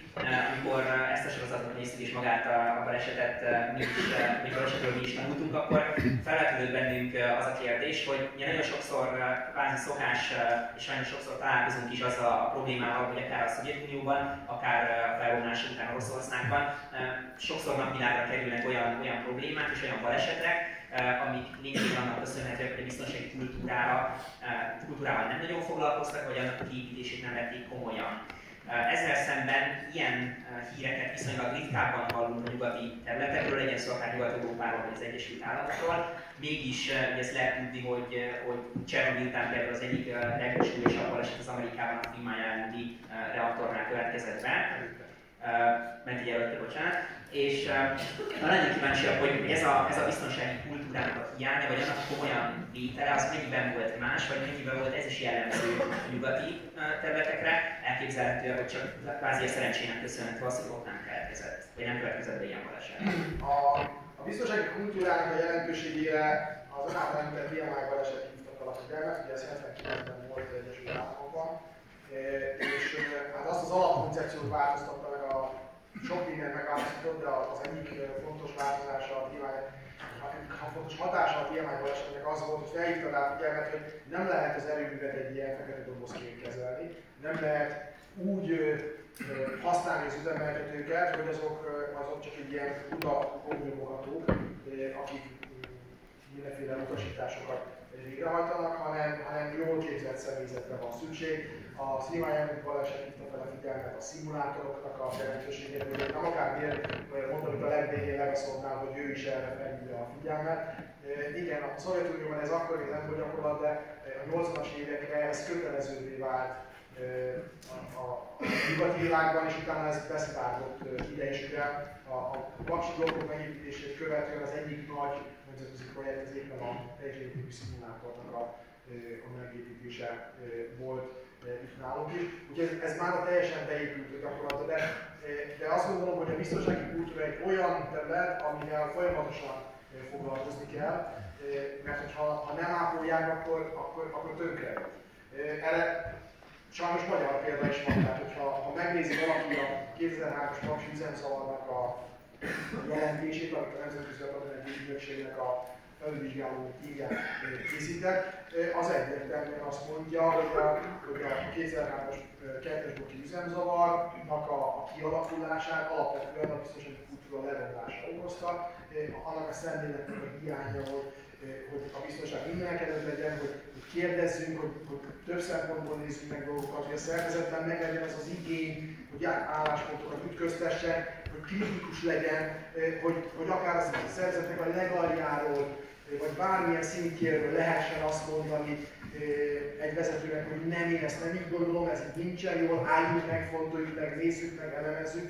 Tehát ezeknek mindenki és ha ezt, még egyszer ezt a kultúrát nem ápolják, akkor, akkor sajnos ez, ez megsérül, a, megsérülhet. A Nemzetközi Atomenergiai Ügynökségnél erre nagyon komoly programok vannak, ennek nagyon komoly szakirodalma van, és ezzel minden engedélyestől folyamatosan foglalkozik ennek.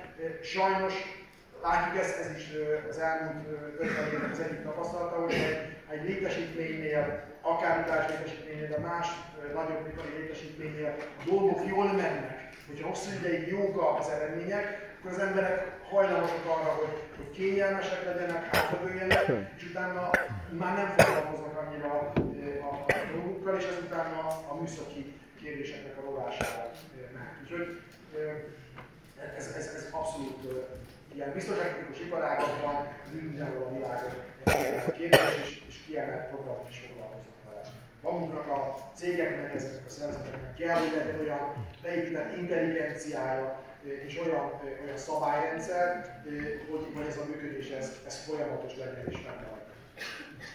Köszönöm szépen. A következő kérdést azért intézik professzor úrhoz, mert akár kormánybiztosi, akár államtitkári munkája során rendkívül fontos szerepet kapott különböző projekteknek vagy problémáknak a kommunikációja, és tulajdonképpen a, a, a laikusabb közönséggel való kapcsolattartás. Az atomerő, az atomenergiának a társadalmi elfogadottsága sem ugye teljesen tökéletes, és hogyha valaki követte akár közönségi is a közösségi médiát, akkor a sorozatot követően számos olyan akár Twitter, akár Facebook bejegyzés vagy komment érkezett, ami, ami azt mutatta, hogy a sorozat hatására rengetegen elkezdtek tulajdonképpen teljesen paranoiásan viselkedni, akár az atomerőművekkel, akár az atomenergiának a, vagy atomenergiával kapcsolatban. Talán hogy látjuk, hogy egyrészt a sorozatnak van-e tényleg ilyen, ilyen hatása, és ezeket a, ezeket a fake információkat, vagy, vagy kommunikációs problémákat hogyan lehet kezelni. A rövid válaszom az, hogy jó, hosszú válaszom az, hogy nem lehet. Szóval ez, ez egy nagyon nehéz kérdés. Ugye a, a laikus csomó elég nem, nem értheti. A laikusnak általában nincs is arra se kedves, se ideje, se energiája, hogy olyan részletek sem elmerüljön egy, egy, egy ilyen ügyben, mint mondjuk, amit most itt ma délután vagy este erre a kérdésre rászántunk. Úgyhogy én teljesen megértem azokat, akik ettől a filmtől megijedtek hogy, hogy hogyan lehet ezt kezelni, hát folyamatos, folyamatos kommunikáció van. A, sajnos a, a, az atomenergia erre van káposztatva, eh, hogy, hogy folyamatosan beszélni kell arról, hogy mit csinálunk, miért csinálunk, hogy hogyan kerüljük el eh, az ilyen jellegű eh, problémákat. Mert, mert egyébként abszurd módon, és most tudom, hogy rettentően fognak rá haragudni nagyon sokan, de abszurd módon a, a, a szörnyűség ellenére, amit láttuk, meg, a, meg az óriási anyagi következmények, a politikai következmények, egy csomó szempontból azt lehet mondani, hogy borzasztó esetek történtek 86-ban és ezt követően, de hát sajnos hasonló dolgok történnek. A, a, a mindennapi életünk az, az nem kockázatok nélkül. Csak a társadalom ezeket a kockázatokat nem feltétlenül úgy érzékeli, mint ahogy a gyermek érzékeli.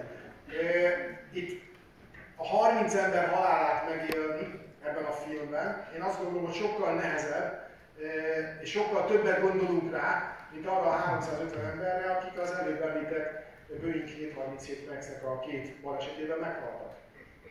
Mert, mert a két repülőgép lezuhanása egy pillanat alatt történik, és igazából nem nem úgy viszonyulunk hozzá, nem úgy dolgozzuk fel tartalmilag.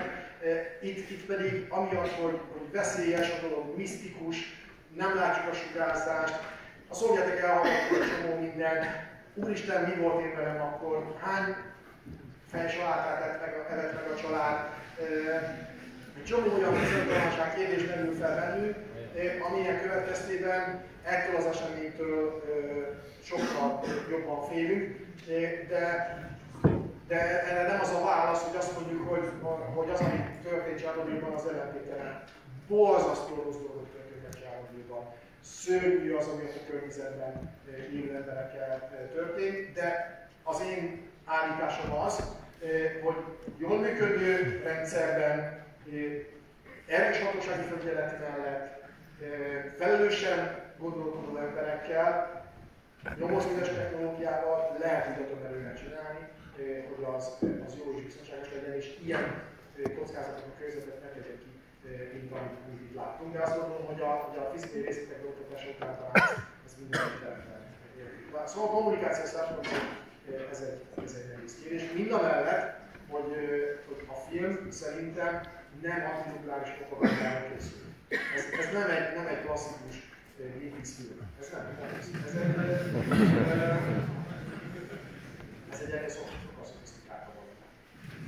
Köszönöm szépen. Az utolsó általunk feltett kérdés pedig már félig meddig átadés a közönség kérdésekre, ugyanis az a kérdés, amit mindjárt következik, az nem csak bennünk fogalmazódott meg, hanem rengeteg közönség kérdés is érkezett ezzel kapcsolatban, és talán az, ahhoz is kapcsolódik, amit talán Dave most ismét az utolsó montában elmondott. Ugye lehet tudni, hogy az oroszok reagáltak erre a filmre, vagy erre a filmsorozatra, hogy kifejezetten rossz nyelvnek is kikérték maguknak egyáltalán ennek, ennek a leforgatását, és pontosan úgy állították ezt bennük, hogy ez egy kifejezetten Oroszország ellenében készült sorozat lett volna, sőt, még egy-két helyen egy nyilatkozatban azt is, azt is lehet hallani, hogy, hogy ez kifejezetten a CIA megrendeléséből készült, és ugye ennek válaszául leforgatják a saját szemszögükből is ezt a, tulajdonképpen ezt a sorozatot, aminek a trailerét egyébként már lehet is látni. Tanár úrnak mi a véleménye az oroszok reakciójáról? Ugye beszéltünk sokat arról, hogy ezért a hidegháború alatt eléggé más volt a politikai kultúra. Mennyiben változott akkor ez most a mostani időszakban, és összességében mi a véleménye a jelenségről? Én, én életvédelmi okokból ezt a trélet nem néztem meg. Én nem, nem gondolom, hogy erre a, erre a filmre így kellene válaszolni, bár majd meglátjuk, hogy, hogy mi lesz abban a filmben, hogyha, hogyha elkészül. Szerintem nem lehet valami, hogy Csernobyl a 20. század egyik fő eseménye, talán a legnagyobb ipari katasztrófa, ami a legnagyobb figyelmet váltotta ki, aminek a legfőbb hatása volt.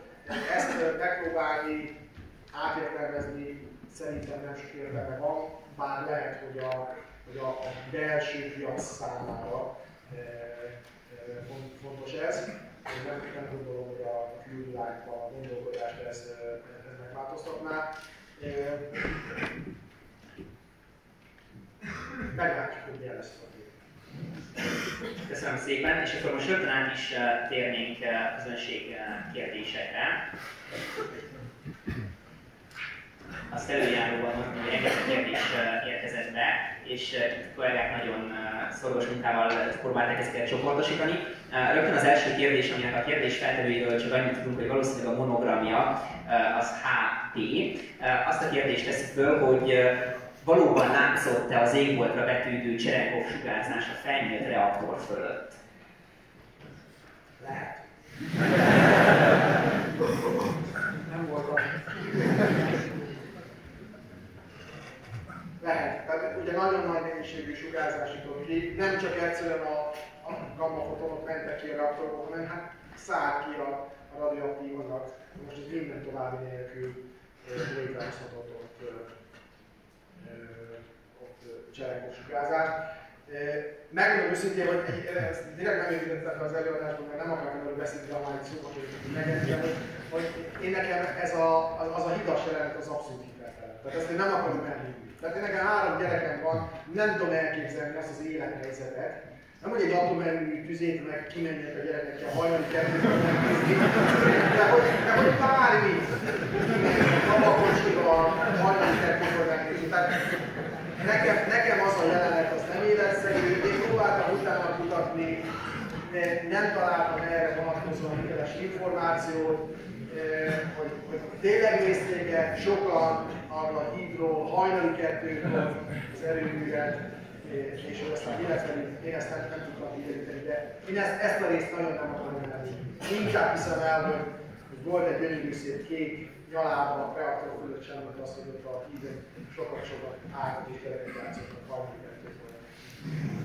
Köszönöm szépen. A második kérdést Dávid teszi föl. Ő azt kérdezi, hogy milyen hatásai voltak Magyarországra nézve a balesetnek.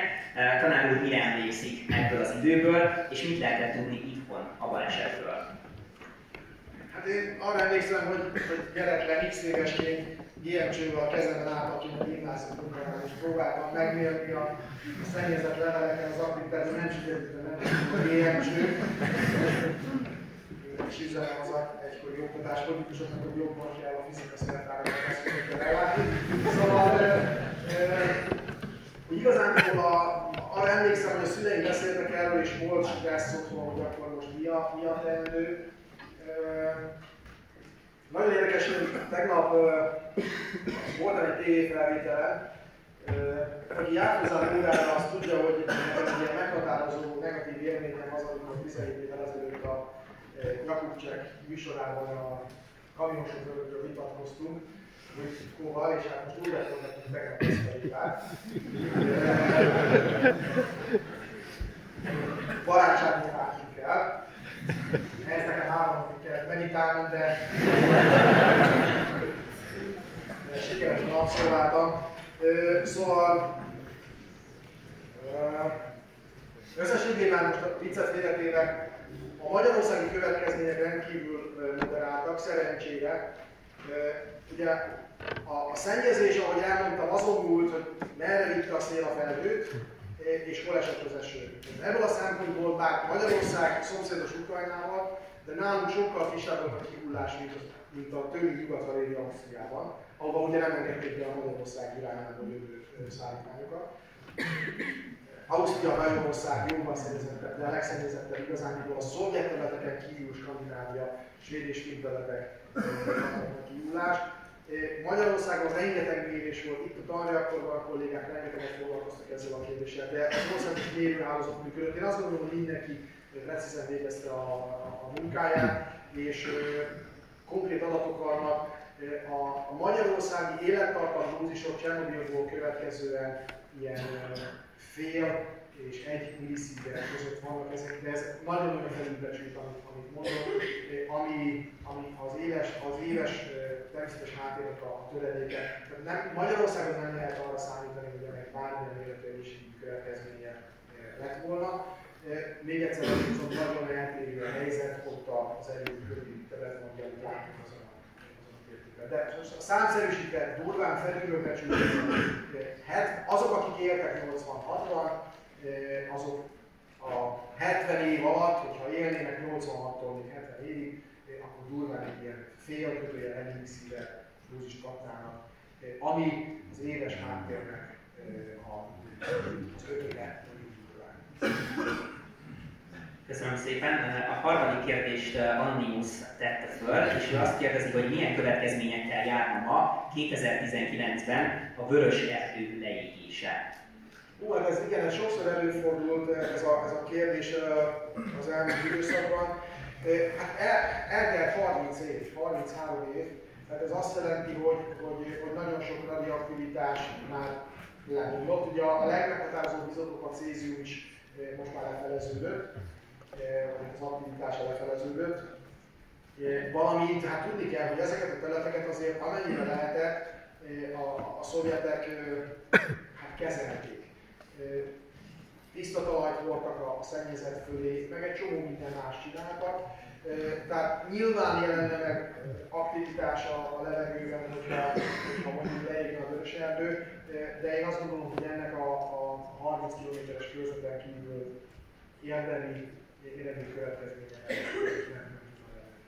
nem a mellett, hogy sok aktivitás van. Tehát ugye amikor 2005-ben voltunk ott, akkor gyűjtöttünk el valakit kollégák, akik velem, velem voltak, meg tudják erősíteni, gyűjtöttünk talajmintát, fűmintát, találtunk nyúlürüléket, szarvasürüléket, hoztunk pohát, zuzmót, egy csomó minden.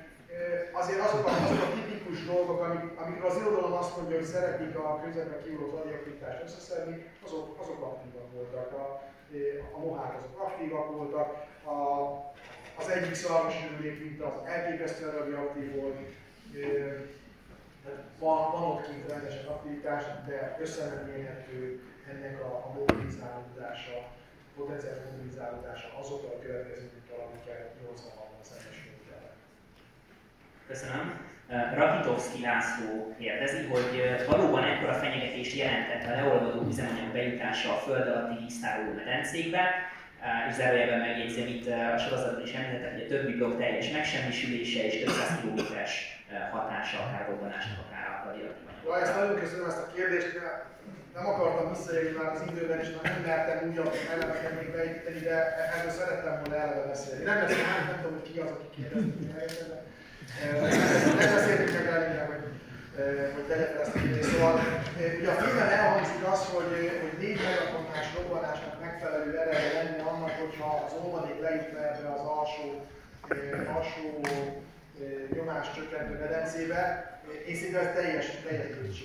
Tehát a gőzrobbanás, egy, tehát ha, ha, ha létrejönne egy ilyen esemény, és ez ugye gőzrobbanásnak hívjuk, arról van szó, hogy a, az olvadékot kikerült a reaktor maga, megsemmisült, az üzemanyag megolvadt, és azok a, a beszórt homokkal, meg egyéb területekkel együtt egy ilyen pálmaszerűen képzett, és, és lejjebb folyt, több emelettel lejjebb folyt ténylegesen, és különböző helyén az épületnek szilárdult meg ez, a, ez az olvadék. Ha az olvadék bejutott volna a, ebbe a medencébe, ahol beküldték a búvárokat, hogy üdítsék le ezt a medencét, úgy, hogy ott benne van a víz, akkor lett volna robbanás, egy ilyen gőzrobbanás, de ez a gőzrobbanás, ez nem egy energiatermelő gőzrobbanás. Tehát az ilyen olvadékoknál gőzrobbanás alatt azt kell érteni, hogy amikor ez a fém olvadék vízzel találkozik, akkor ugye nagyon intenzív forrás jön létre, mert az olvadéknak a hőmérséklete 2000 fok fölötti, a víz az tipikusan 30-40 fokos,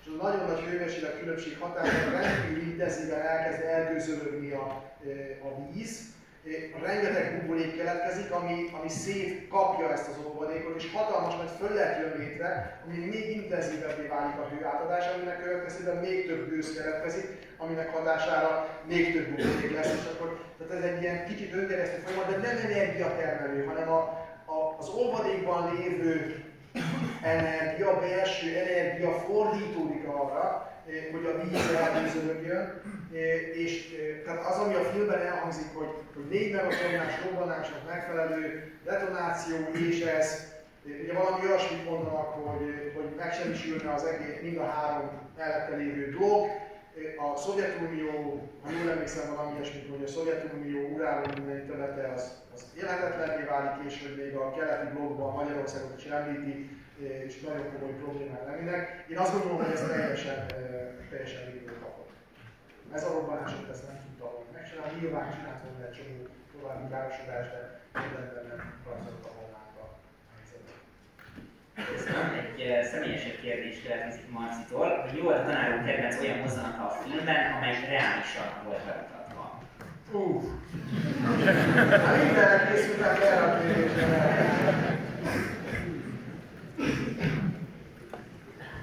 Nem, erre nem tudok most jól hirtelen válaszolni.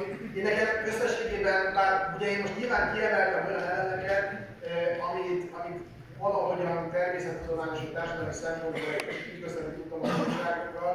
Ennek, ettől függetlenül én nekem ez a film ez nagyon tetszett, mert, mert egy olyan dologgal foglalkozik, amivel én is sokat foglalkoztam. Ugye könyvet írtunk erről Szatmári eh, professzor úrral, meg, meg hát rengeteg dolgot az embernek kell csinálni az elmúlt években, úgyhogy nekem kifejezetten annyi élmény volt ezt a filmet megnézni, mind a mellett, hogy a madárból szakottam meg, és legyen az én Köszönöm. Az utolsó... Bocsánat, de hogy most már tudom. tudom. Közben eszembe jutott Nekem például, ami új jelen volt, és nagyon tetszett, az a tábornak a bemutatása. Tehát a, én nekem az ilyen teljesen felvillanzó volt, mert, mert hogy ugye beszélünk mindig arról, hogy 500-600 ezer likvidátor dolgozott ott, és sosem gondoltunk bele abba, hogy hogyan lehetett ezt megszervezni. És, és azzal szembesülni, hogy ott tulajdonképpen egy ilyen katonai tábor volt, katonai szervezéssel, és ezt így bonyolították, én nekem ez teljesen új jelen volt, és egy új perspektívát nyitott el az ezzel kapcsolatos gondolkodásban. És ha már még azt hozzá kell, hogy tegyem, hogy a szervezeti folyamatot nem mondtam, hogy, hogy a, e tekintetben a, a szovjetek elképesztően nagyot teljesítettek. Tehát, és ez, ez megint nagyon jól be van mutatva a filmben, ez az önfeláldozás, hogy, hogy a, a szovjet földnél ezt, ezt igenis meg kell tenni, ugye amikor, amikor Csermina mondja ott a, a, a munkásoknak, hogy nem azért mentek oda, mert kaptok 400 művelet, hanem azért, mert valakinek meg kell tennie. Szóval tényleg ilyen, ilyen volt ez a társadalom, és nagyon sok tekintetben ilyen, ilyen a, a, a volt Szovjetuniónak a területén élő országoknak a beállítottsága. Én szerintem az, az ahogy ők önfeláldozóan állnak hozzá egy ilyen ügyhöz, az, az, az jó hitelesen van beállítva. Mind a mellett, hogy a, a, a távoli körülményeknek a megoldása szintén. Ez egy érdekes nekem. Köszönöm szépen. Az időre való tekintettel az utolsó előtti kérdést Srót Péter teszi föl, hogy készül-e folytatása a blogbejegyzésnek? Igen, igen, igen, igen. Én megmondom őszintén, hogy nagyon, nagyon készültem erre, a, erre az előadásra, nagyon örültem annak, hogy a, szakkológium megkeresett, és még azon túl is egy csomó mindent megnéztem, amit terveztem annak idején, úgyhogy hogy dolgozom rajta, de nem akartam elérni a poént, úgyhogy ezért még a, még a, a csőben van, de, de készül. Nem ígérek semmit, hogy mikor lesz, és többen is tervezek, lesz. Köszönöm szépen, és az utolsó közönség kérdés pedig az, hogy mit lehet tudni az új védőépületről, és milyen munkálatok folynak a napjainkban. Az új védőépület ugye nemzetközi segítséggel épült, hermetizált, és, és hát az a feladat, hogy vissza lehessen mondani a segítségével a, a régi szarkofágot, illetve az az alatti megsérülő szerkezeteket. Muszáj ezt megcsinálni ahhoz, hogy stabilizálni lehessen a, a körülményeket. Sokáig fogott még munka zajlani, de én nagyon remélem, hogy, hogy komolyabb műszaki felakadás nélkül fogják tudni használni mindazokat az eszközöket, amiket Én nem láttam az műszakot, nagyon érdekel, nagyon kíváncsi elég, mert nem, nem tudtam elni megnézni, úgyhogy lehet, hogy egyszer Köszönöm szépen, és sajnos ezzel az utolsó kérdéssel az időnk végéhez közeledtünk, úgyhogy én mindenek előtt szeretném megköszönni professzor dr. Szóri Attilának, hogy elfogadta a meghívásunkat és a felkérésünket a mai előadásnak a megtartására, illetve szeretném megköszönni önöknek is a megtisztelő figyelmet, és hogy ennyien eljöttek a mai előadásra. Szeretném felhívni figyelmüket, hogy az előadás anyaga majd hamarosan elérhető lesz a szakkollégiumnak az internetes oldalán, illetve ajánlom a figyelmükbe a www.esk.org oldalunkat, ugyanis itt nem csak az előadás anyagát érhetik el, hanem a következő előadásainkról, illetve üzemlátogatásainkról is tájékozódhatnak. Én még egyszer szeretném megköszönni professzor úrnak is az előadást, illetve önöknek is a részvételt, és kellemes estét kívánok! Köszönöm,